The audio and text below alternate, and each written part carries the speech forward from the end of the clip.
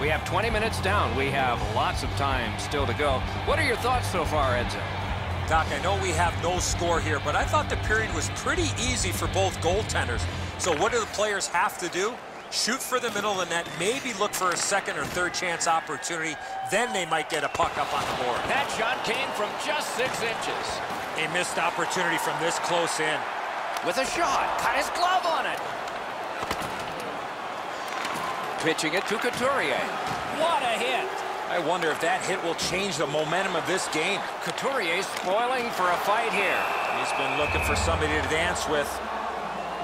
Bergeron's able to close the space where the forward thinks he's got some open area, and then he lays a thunderous hit on him.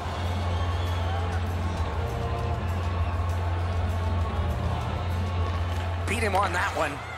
Free puck off a defender. Gains the zone and looks over his options. Got a piece of it with the glove. Got that pass near the blue line and now looks ahead. Now it's directed to Marchand. Up the wing, moving along. Slid to Raffl. Just wide. The Bruins in their own end have control of the puck. Recollected. To the net. Great glove save.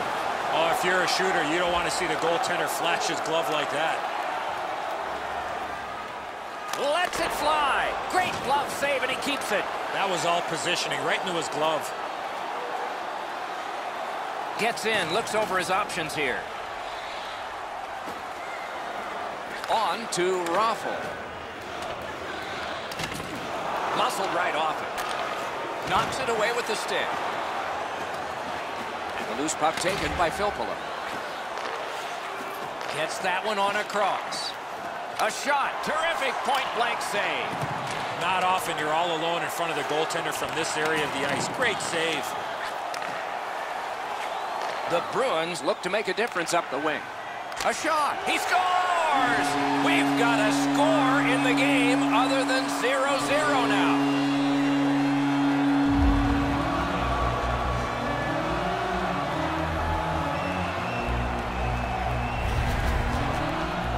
You're not going to see many shots harder than that. What a play. Boston's gotten a one-goal lead and lots of time left in the game. We're still in period number two. Scored by number 10. Onside. Assisted Nice job, straight stand-up poke check. And by number 47, Corey. Corralled by Claude Giroux. Time of the goal. 9 minutes, 23 seconds. Has it seconds. picked up. Knocked right off the stick. And he's held up against the boards. Good strong work. Icing is canceled.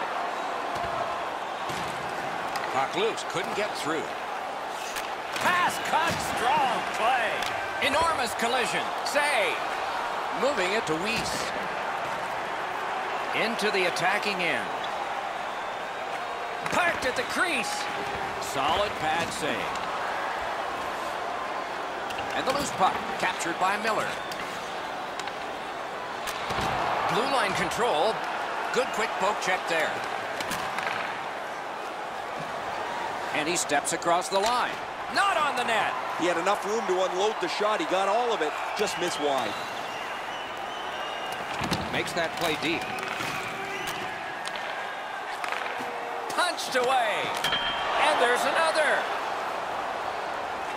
A shot. What a save. You want to score goals, you have to go to this area.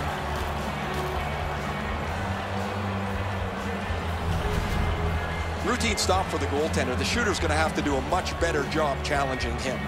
Over four minutes remaining. The Bruins ahead 1-0. They win it. He knifed it away. He's going to skate it on back now. He gains the zone. Shoots off his glove. Snapping a pass to Lehtera. It all alone. A good stick there, so no complete pass.